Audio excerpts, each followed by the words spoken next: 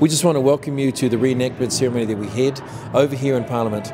In 1915, on the 7th of October, 45 Cook Island soldiers came here.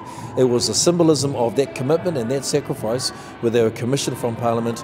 We had a ceremony that reenacted it over 100 years ago. We had people who were part of that heritage.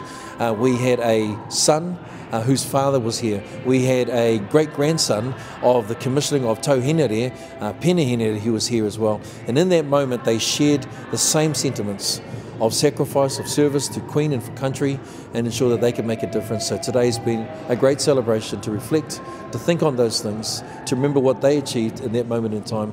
Kirana e Kimanui.